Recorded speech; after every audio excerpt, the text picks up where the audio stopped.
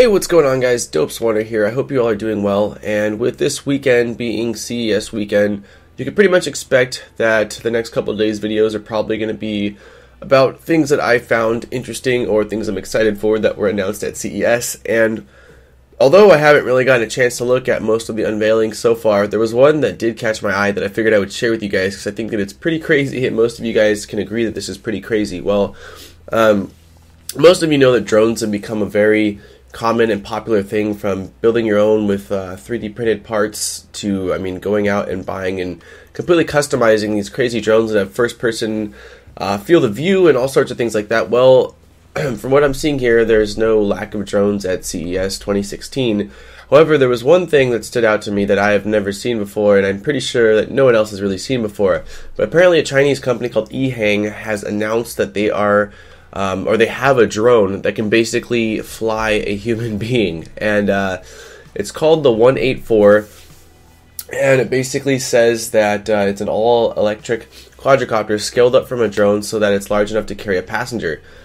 It's called an autonomous aerial vehicle, and um, yes, it's a thing. So I've got uh, I've got some pictures of it that I'll post up for you guys, and it looks like basically um, it looks like basically it's not going to be launching in the US, uh, especially it says right here that um, it has not been tested or approved by the FAA. So unfortunately, um, a live demo at CES isn't going to happen.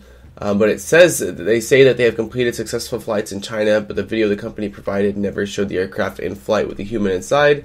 The photos it supplied were mostly renders images of the craft that lacked any other objects for scale. So um, I'm not seeing it right now, but I did see earlier on another on another article basically that I think it can fly roughly 10 miles in distance in one charge and um, oh, what else did it say 10 miles in distance in one charge and it goes i want to say it was 55 to 65 miles per hour is the top speed so obviously if you're commuting you know somewhere super far that's not going to work but i mean uh, let's say like you have to go somewhere in the morning, you know, and it's prime traffic hour, and it's literally just four or five exits away, or you know, even even a little bit more than that, I guess. But uh, the ability to fly over it, and I did read on it a little bit, and did say there's safety features at Bay where basically, like, if it's running out of charge, it's I'm not going to just drop.